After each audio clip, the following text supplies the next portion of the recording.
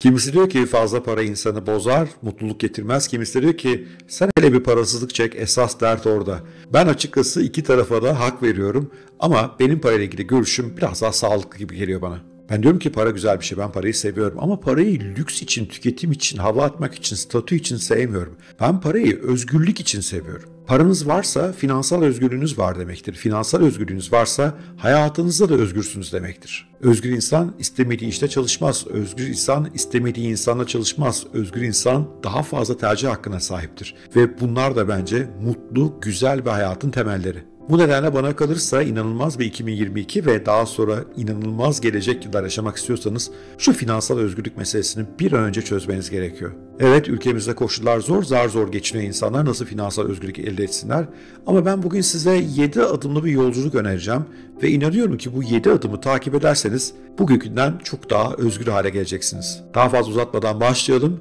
2022 inşallah finansal özgürlük yolunda ilk adımlarınızı attığınız yıl olur ve inşallah benim bu 7 adımlı metodum size bir miktar olsun yardım eder.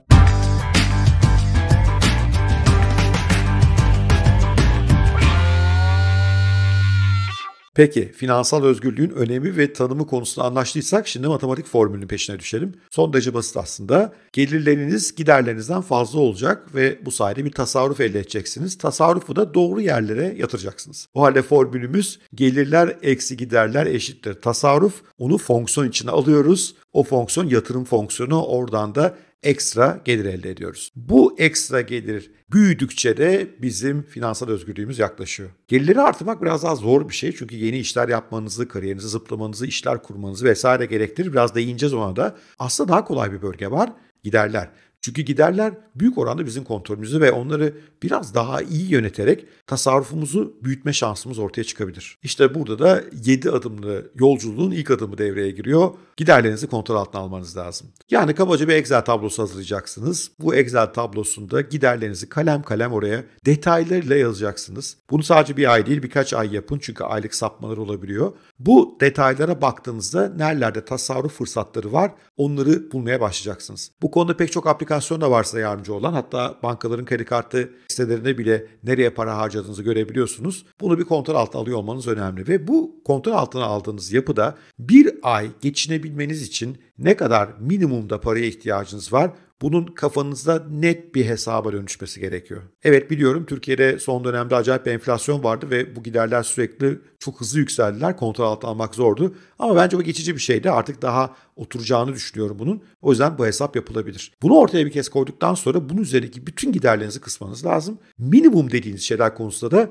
epey cimri olmanız gerekiyor. Yani benim hakikaten bu kadar büyük bir eve ihtiyacım var mı? Benim böyle bir büyük arabaya ihtiyacım var mı? Benim işte haftada 3 gün dışarıda yemek yemem şart mı? Her sabah Starbucks'tan kahve almam gerçekten gerekiyor mu? Bütün bunları gözden geçirmeniz gerekiyor. Yani hayat keyfinizi sıfırlayın demiyorum ama eğer finansal özgürlük elde edecekseniz belli bir e, fedakarlık gerekiyor açıkçası ki biraz tasarruf başlasın. Ben böyle bir hayata minimalist hayat diyorum. Yani temel ihtiyaçlarımızı güzel kaliteli bir şekilde çözdüğümüz, kaliteli beslenmeliyiz, sporumuzu yapabiliyor olmalıyız, güzel şeyler okumalıyız. Ama bütün diğer lüks ürünleri hayatımızdan çıkarttığımız, işte 5 tane cekete ihtiyacım yok, 2 ceket işimi görebilir, 10 ayakkabıya ihtiyacım yok, 3 ayakkabı işimi görebilir. Alışveriş çılgınlığına kapılmadığımız ki bizi çıldırtmak için çok şeyler yapıyorlar biliyorsunuz. Bu teklifler geliyor, indirimler var, kampanyalar var. Onlara kendimizi kaptırmadığımız alışveriş merkezlerine gerçekten çok ihtiyacımız yoksa gitmediğimiz çünkü gidince bizi ikna edecek bir şeyler orada yapıyorlar.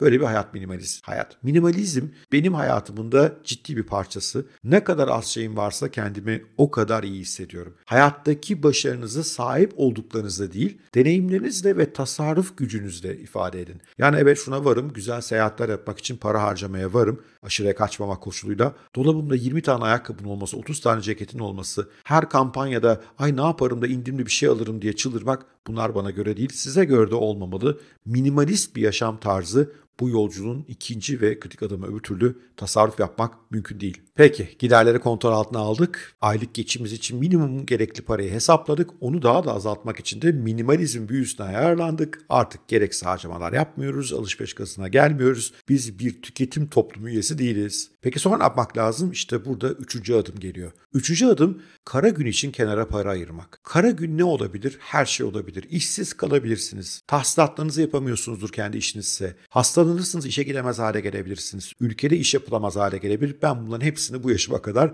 yaşamış bir insanım. Böyle günler için kenarda paranızın olması şart. Yani bence minimum 3 ay 6 ay hatta 1 yıl boyunca sizi bu minimum şartlarınızda geçindirebilecek bir paranın kenarda olması müthiş bir güvencedir. Yanlış anlamayın bu para finansal özgürlük parası değil. Bu o 1 yıllık para, 3 aylık para artık gücünüz neye yetiyorsa. Çünkü o rakam sizin o panik durumuna kapılmamanıza yardımcı olacak. Böylece mesela yatırımlarınız varsa onları zararına satmak zorunda kalmayacaksınız. İşte bir anda paniğe kapılıp olmadık işleri kabul etmek zorunda kalmayacaksınız. Bu parayı böyle yangında camı kırıp alacağınız bir şey gibi hayal edebilirsiniz. Bu bir finansal özgürlük aracı değil. Bu sadece finansal özgürlüğe gidebilmek için kafanızı rahatlatan ve kısa vadeli ani stresleri atlatmanıza yardımcı olan bir kaynak. Bunu kenara ayırmadan asla yatırımcı olmaya başlamayın. Asla riskli yerlere paralar yatırmayın. Önce bunu çözeceğiz. Bu sizin kaleniz, bu sizin güvenceniz, bu sizin can simidiniz. Minimalist bir hayatımız var, giderler kontrol altında ve kara gün parasını da kenara ayırdık. Şimdi artık yatırım zamanı.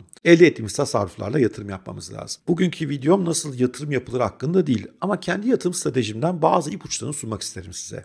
Ben yatırımdan bir bölümünü yüksek riskli alanlara yapıyorum. Çünkü yüksek riskli alanlara olan yatırımlar yüksek getiri de sağlayabiliyorlar. Ama unutmayın riskli bunlar yani sıfırlanabilirler. O yüzden sıfırlandığı zaman beni perişan etmeyecek ama eğer getirisi beklediğim gibi olursa hayatımı değiştirecek alanlara yatırım yapmayı seviyorum. Yüksek teknoloji firmaları Tesla gibi, kripto paralar, bitcoin gibi bu alana bir örnek. Siz de kendi risk iştahınıza göre bir de yaşınıza göre yani yaşınız gençse daha çok risk alınabilir. Yaş ilerledikçe daha az risk almak lazım. Buralarda mutlaka ufak tefek de olsa yatırımlarınız olsun. Çünkü buralarda sürpriz getiriler olabiliyor. Yatırım portföyünüzün ikinci bölümünde orta seviyeli riski olan ama size bir getiri sağlayan alanlara yatırım yapmak lazım. Aklınıza tabii gayrimenkul geliyor olabilir. Benim sevmediğim bir alan gayrimenkul çünkü getirisi genelde düşük. Ama olabilir en azından oturduğunuz eve kira ödememek de bir getiri sayılabilir. Ama aslında ben burada daha ziyade yine teknoloji firmalarını veyahut da daha büyük geleneksel firmaları tercih ediyorum. Mesela atıyorum Apple'a yatırım yapmak ömür boyu temettü garantisi anlamına geliyor. Türkiye'de de böyle şirketler var. Bu tip uzun vadede size getirisi olacak. Hisse senedi değeri çok yukarı doğru gitmeyecek. Yani ani bir servet patlaması yapmayacak ama geriye doğru da çok çökmeyeceğine inandığınız alanları seçmekte ve yatırım yapmakta fayda var. Benim aklıma şirketler geliyor burada onların hisse senetleri ama siz kendinize göre bir alan seçebilirsiniz. Mesela pek çok bankanın ve finansal e, kurumun sunduğu fonlar var. Belki onlara bakılıyor olabilir. Buradan da yeni maddemize geliyoruz. Beşinci maddemiz finansal okul yazarlığınızı güçlendirin. Nasıl olacak bu konuda bir sürü eğitimler var. Hatta bazı bankalar bedava eğitimler sunuyor. Çok sayıda kitaplar var. Podcast'ler var. Şu anda birkaç tanesini ekranda görüyorsunuz. Türkçe podcast'ler bunlar ve her gün önerilerde bulunuyorlar. Twitter'da çok sayıda insan bu alanlarda paylaşımlarda bulunuyor. Finansal okur yazarlığınızı geliştiriyor olmanız gerekiyor. Yani demiyorum ki teknik grafikleri okuyan, anlık bir ticaret yapan, trade yapan insan dönüşün. Bu değil ama uzun vadeli yatırım demek ne demek? İnsanlar nasıl para kazanıyorlar? E, ekonominin temel değişkenleri neler? Bunlar hangi yatırım araçları nasıl etkiler konularında temel bilgilere sahip olmakta fayda var. Ben diyorum ki finansal okur yazarlık kazanacağınız en önemli becerilerden bir tanesi. Çünkü ben pek çok insanı görüyorum. Bayağı para kazanıyorlar, tasarruf da yapıyorlar ama kötü alanlara yatırıyorlar ve bir türlü hayatın kısır döngüsünden çıkamıyorlar. İşte o duruma düşmemek için ve her türlü finansal kararınızda finansal okur yazarlığı güçlü bir insan olarak yatırım yapmanız için bu alanlarda kendinizi geliştirmeniz lazım. Şimdi geldik 6. maddeye. Altıncı madde gelirleri artırmakla ilgili bir madde. Çünkü eminim pek çoğunuz aklından şu geçiyor. Ya hocam ne diyorsun ben tasarruf falan yapamıyorum ki. Benim gelirlerim giderlerimi ancak karşılıyor. Hatta belki de karşılamıyor. Üstelik hocam ben zaten minimalist yaşıyorum. Daha kısacak bir yerim yok. Bu durumda olanlarınızın olduğuna eminim. Ben pek çok insanda kısılacak bir yerler var diye düşünüyorum ama bu durumda olanlarda eminim var. Bu durumda ne yapacağız? Gelir artırmaya çalışacağız. Gelir artırmanın işte geleneksel yolları, kariyerinizde yükselin, işlerinizi büyütün. Bütün bunlar olabilir ama benim biraz daha pratik önerilerim var. Bu önerilerden ilki 6. maddeyi zaten oluşturuyor. Orada diyoruz ki kendinize pasif gelirler yaratın. Aslında daha doğrusu pasif ek gelirler yaratın olmalı. Ben işte haddini aşta e-rehberlerim var onları satıyorum. Her gün 3-5 kuruş oradan para geliyor. Yakında online sürekli izlenebilecek eğitimlerim olacak. O eğitimlerden bana para geliyor olacak. E, YouTube'a yüklediğim bir videodan sadece yüklediğim gün değil ömür boyu para akıyor. Bunlar işte pasif gelir kaynakları diyoruz. Şu anda daha belki bir videomda bahsettiğim yaratıcılık ekonomisi bu tip gelir kaynaklarını çok artırmış durumda. Böyle çok fırsatlar var. Sizin de kendinize böyle bir gelir kaynağı inşa etmeniz çok önemli. Bunun için benim yaratıcılık ekonomisinde refah nasıl kazanılır konulu bir videom vardı. Linki yukarıda ve aşağıda açıklamalarda bulabilirsiniz. O videoyu bir izlemekte fayda var tekrar. Bu size yeni gelir fırsatları yaratmanın ne kadar kolay olduğunu aslında gösteriyor.